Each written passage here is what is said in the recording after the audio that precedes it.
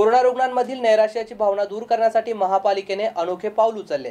Corona रुग्णांच्या समुपदेशनासाठी आता मनोमित्र कक्ष सुरू करण्यात आलाय. हा कक्ष आजपासून कार्यान्वित झाला असून कोरोना रुग्ण भरती झाल्यापासून त्याला एक महिन्यांपर्यंत मोफत समुपदेशांचा लाभ घेता येणार आहे. कोरोनाची लागण झाल्यावर संबंधित व्यक्तीला उपचारासाठी हॉस्पिटल किंवा कोविड सेंटरमध्ये भरती केले जाते. उपचाराच्या काळात रुग्णांना बऱ्याच वेळा मनात नैराश्याची भावना निर्माण होते तणाव येतो भीती वाटते अतिविचार केल्यामुळे मेंदूवर ताण येतो अशा अनेक प्रकारच्या समस्यांना त्या रुग्णांना सामोरे जावे लागते. या परिस्थितीत त्या रुग्णाला भावनिक आधाराची गरज असते. त्याच्या मनात सुरू असलेले विचार समजून घेण्याची गरज असते. नेमकी हीच बाब लक्षात घेऊन महापालिकेने समुपदेशन कक्ष सुरू करण्याचा निर्णय घेतलाय. हा कक्ष आजपासून सुरू करण्यात आला असून डॉक्टर कल्पना मोटे या कक्षाच्या समन्वयक म्हणून काम पाहणार आहे.